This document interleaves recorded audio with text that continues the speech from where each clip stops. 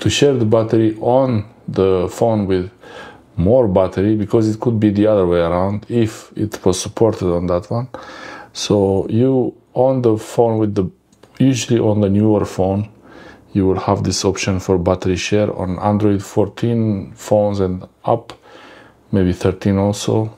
13 12 13 i think so on the newer phone usually you will have the battery share option samsung phones they have it this uh, sony xperia has it I think Google Pixel also has it. So go to settings and then battery. We have battery here. So add on battery.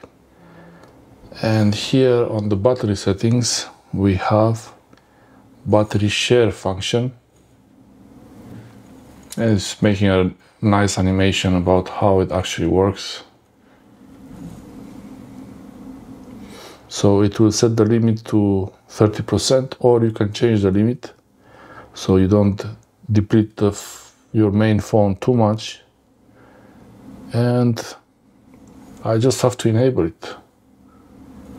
So now I have, it's telling me place the other device on the back of the phone. Where is this arrow here? This is where the, the wireless coil, this is where the charging coil is so this phone I can actually close it and I will put it, I'll use the the phone with the higher battery, I'll use it as a donor phone and then this one will go on top of it like that.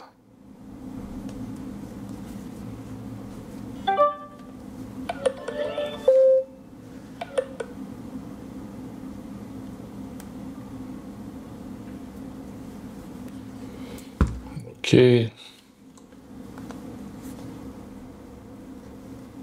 Let's see what happens on this side.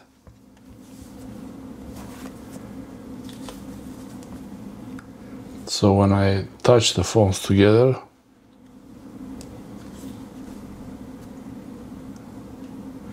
ah, okay, the battery share function only works when you enable it. So you have to enable it and then do it.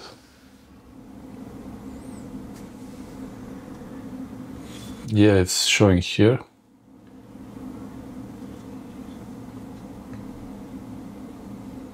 Charging starts when you place the, okay.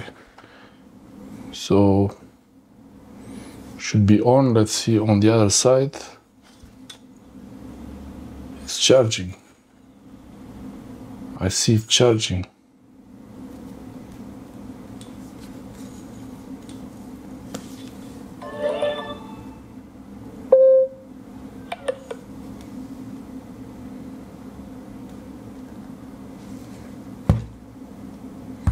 Okay, so now it's off. It's a bit annoying that it goes off by itself, but what to do?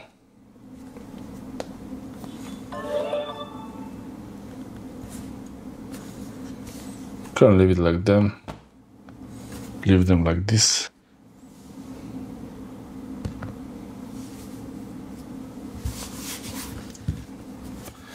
Yeah, as soon as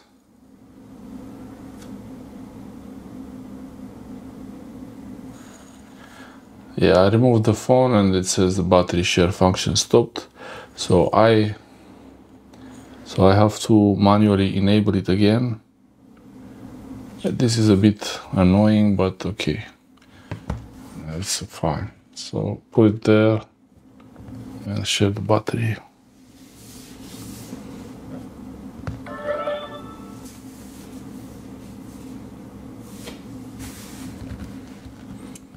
This is useful for really serious, oh, it went up a bit. It's only for really times when you don't have any charger or cable around and you really need to charge your phone quickly. Otherwise, always good to have a charger, at least charger cable with you so you can actually charge the phone with the cable. Also, with the cable you will have quick charge and it's much faster than the wireless charging. and while you're charging one phone you can still use the other one. And keep it disabled just in case when you don't need it. Thanks for watching